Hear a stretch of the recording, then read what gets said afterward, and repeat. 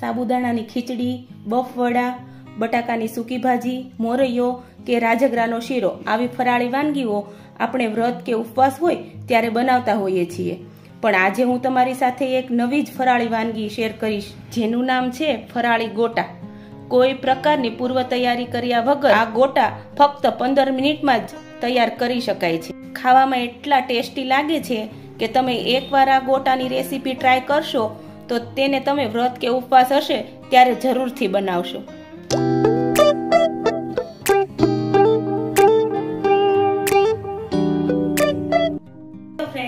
સ્વાગત છે તમારું જર્ની ઓફ આજે એમ થયું કે શ્રાવણ, બે શ્રાવણ માસે અત્યારે અધિક માસ ચાલી રહ્યો છે, એટલે એમ થયું કે ફરાળી વાનગીની રેસીપી શેર કરું.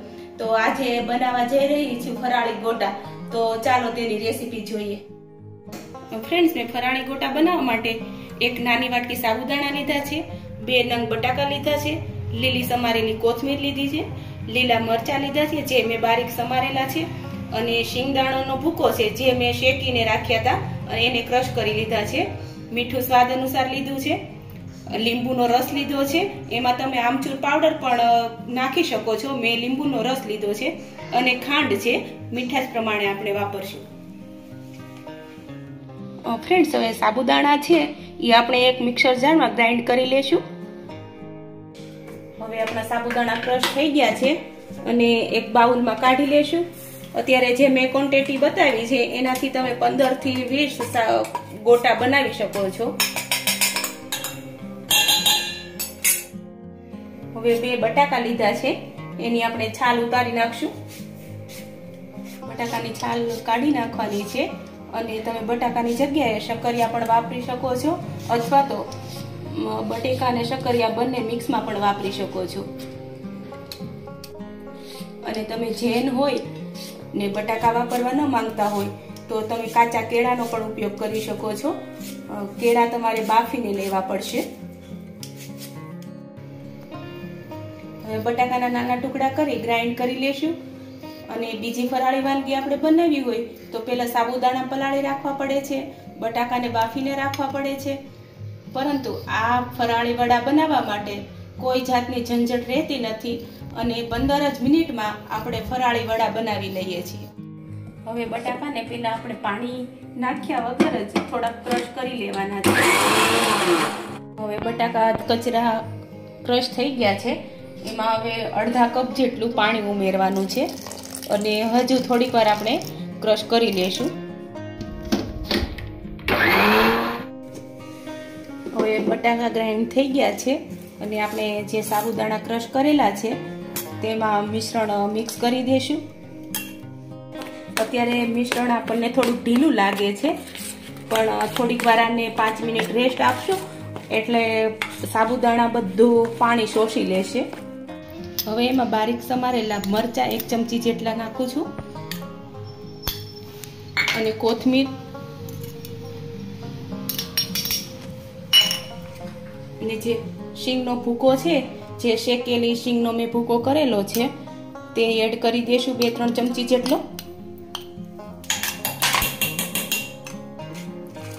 અડધી ચમચી જેટલો લીંબુનો રસ નાખવાનો છે. હવે સ્વાદ અનુસાર ખાંડ થોડીક નાખશું. ખાંડ નાખવાથી તેનો ટેસ્ટ સરસ આવે છે. અને સ્વાદ અનુસાર મીઠું નાખશું. હવે એને સરખી રીતે મિક્સ કરી આપણે એને પાંચ મિનિટ સુધી રેસ્ટ આપશું. આમાં તમે સવારે વ્રત રહ્યા હોય તો સવારે સાબુદાણાની ખીચડી કે મોરૈયો કે બનાવ્યું હોય તો આમાં એડ કરી શકો છો. તેનાથી પણ સ્વાદ બહુ સરસ આવશે. અને આમાં તમે ચીલી ફ્લેક્સ મરીનો ભૂકો પણ ઉપયોગ કરી શકો છો. હવે આપણે પાંચ મિનિટ સુધી ઢાંકી દઈશું. A few moments later. હવે પાંચ મિનિટ થઈ ગઈ છે અને આપણે જે ઢાંકીને મૂક્યું હતું એ પણ કઠણ થઈ ગયું છે ગોટા વડે એવું થઈ ગયું છે. અને આની સાથે દહીં બહુ સરસ લાગે છે. અથવા તો તમે કોથમીરની ને ફુદીનાની ચટણી પણ બનાવી શકો છો. હવે મીડિયમ સાઈઝના ગોટા બનાવીશું. અને જો તમારે ગોટાને તળીને ન બનાવવા હોય, તો અપમ પાત્રમાં પણ બનાવી શકો છો. જેને હાર્ટની તકલીફ છે અને જે તળેલું નથી ખાઈ શકતા, તે ઓછા તેલમાં બનાવી શકે છે. આપણે બધા ગોટા બનાવી લઈએ, ત્યાં સુધી તેલ ગરમ કરવા મૂકી દઈએ.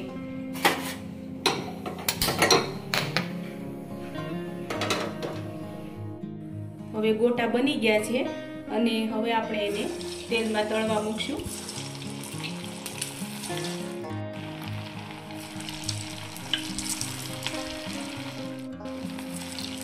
હવે આ તેલમાં તળવા મૂક્યા હોય તો તરત જ ઝારો નથી અડાડવાનો, કેમ કે કાચા હોય તો તેની સાથે, ઝારાની સાથે ચોંટવાની શક્યતા રહે છે અને કાચું હોય એટલે ફાટી જાય છે. પહેલાં એક સાઈડ સરસ રીતે તળાઈ જાય, ત્યાં સુધી આપણે જારો નથી અડાડવાનો. તેલમાં તળવા મૂકીએ ત્યારે આપણને એમ થાય કે બધા ગોટા એકબીજાની સાથે ચીપકી જશે, પણ એવું નથી થતું. જેમ જેમ જેમ જેમ ગોટા તળાતા જાય છે, તેમ એની મેળાએ જ છૂટા પડતા જાય છે. આ ગોટા તળાતા ચારક મિનિટનો ટાઈમ લાગે છે અને સરસ ધીમા તાપે તળવાના છે, જેથી કરીને અંદર કાચા ન રહે. હવે ગોટા ગોલ્ડન કલરના થઈ ગયા છે અને એક ડીશમાં મેં કાઢી લીધા છે. તમે આ ટિશ્યુ પેપરમાં પણ કાઢી શકો છો. પણ આમાં વધારે તેલ રહેતું નથી એટલે મેં ડીશમાં જ કાઢ્યા છે. હવે બીજા ગોટા પણ તળી લેશું.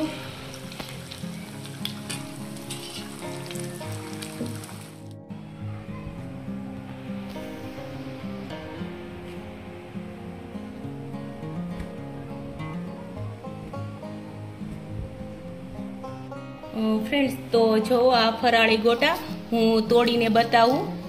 એકદમ તેલ નથી આની અંદર ને સરસ એવા બન્યા છે. તમે આ રેસીપી જરૂરથી ટ્રાય કરજો અને તમારા ફ્રેન્ડ્સ અને ફેમિલીમાં વિડીયોને શેર કરજો. ફ્રેન્ડ્સ તો આ ફરાળી ગોટા તમને કેવા લાગ્યા એ જરૂરથી કોમેન્ટમાં કહેજો અને જરૂરથી બનાવજો. એકવાર તો જરૂરથી ટ્રાય કરજો. અને મારી ચેનલને લાઈક કરજો શેર કરજો સબસ્ક્રાઈબ કરજો.